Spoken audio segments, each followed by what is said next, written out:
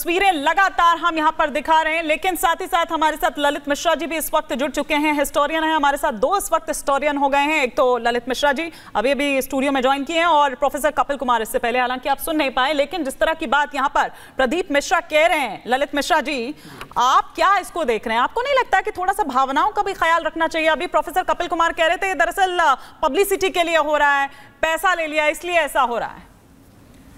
देखिए पहली बात तो यह है कि सनातन के जो भी गुरु और कथावाचक हैं सभी को अपने अपने संप्रदायों की मर्यादा के भीतर रहकर अपने स्टेटमेंट्स देने चाहिए और या जनता को अपनी जनता से अपनी अपील करनी चाहिए। किंतु हो यह रहा है कि सभी में कंपटीशन की भावना काफ़ी तेज़ी से बढ़ गई इन दिनों। सोशल मीडिया के आने के पश्चात इस वजह से शायद मर्यादा का ध्यान नहीं रखा जा रहा है। अब जहाँ तक बात है राधा जी और राधा जी संबंधित विवाद में तो मैं कहना चाहूँगा कि पहले भी आपके शो में हमने बताया था कि राधा जी श्री कृष्ण के अस्तित्व में आने से पहले से थी। ऋग्वेद में राधा जी के मंत्र हैं।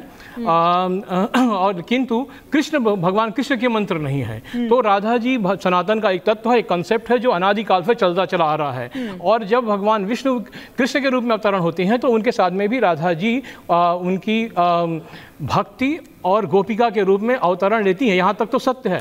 किंतु लक्ष्मी जी जो जहाँ तक हैं, जो लक्ष्मी जी, जो सीता जी होती हैं, वही आगे चल कर के रुक्मणी होती हैं। तो रुक्मणी जी का स्थान किसी कारणवश, अज्ञानतावश, चूँकि वेदों का अध्ययन भारत में बंद हो गया है तो अलग अलग अलग संप्रदाय जो मुगल काल में अस्तित्व में आए, उनके द्वारा रुक्मणी जी का स्थान राधा जी को प्रदान किया जा रहा है, जो कि अत्यंत सोचनीय विषय है और इस पर हमारे सभी गुरुवरों को, कथावाचकों को आपस में गंभीरतापूर्वक सोचना पड़ेगा। और सोच करके किसी किसी मुकाम पर पहुँचना होगा।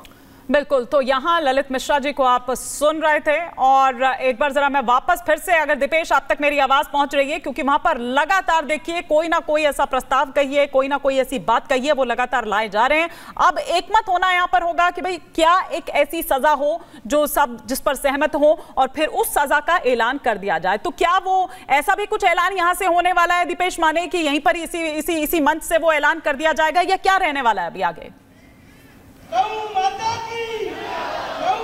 इस तरह की पंचायत GPS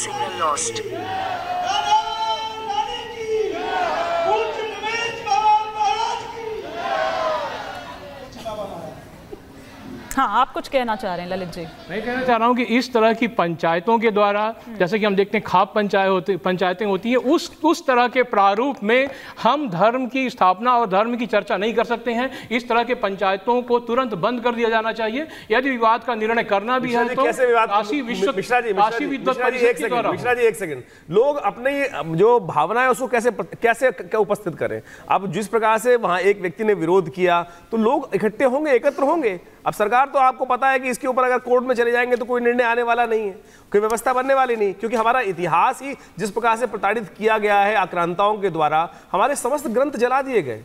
श्रुति के माध्यम से ही ये ग्रंथ उपस्थित रहे। इसी के कारण से यह सारा विवाद है। आप सोचें भारतीय संस्कृति तो के संबंध में कहा गया सभी था संप्रदायों में आचार्य जी आपकी बात से मैं सहमत हूँ सभी संप्रदायों में कम से कम वेदों का प्रारंभिक परिचय तुरंत शुरू किया जाना चाहिए। काशी विश्व परिषद को बताइए कि हर वेद अध्ययन कराया जाता है। वेद अध्ययन कराया ही जाता है कि आज आप जैसे पढ़े लिखे लोगों की आवश्यकता है कि जो कॉलेजेस में आज एकेडमिक पॉइंट ऑफ़ व्यू से इन सब पे कार्य कर रहे हैं उन सब चीज़ में आज भारत का इतिहास जो है वो केवल माइथोलॉजी के रूप में उपस्थित करने की बात की गई। आप सोचें, इस देश का इतिहास जो सत्य है, ग्रंथों के रूप में उपस्थित है, हमारे काव्य ग्रंथों को काव्य कल्पनाएँ बता दिया गया। आप सोचें, ये ये माइथोलॉजी वर्ड कैसे इंप्लीमेंट कर देगी ये भारत की हिस्ट्री महाभारत, भारत का इतिहास है, वास्तविक तौर पर रामायण भारत का इतिहास है, लेकिन काव्य के रूप में लिखा गया इस इतिहास को जिससे लोग याद रख सके।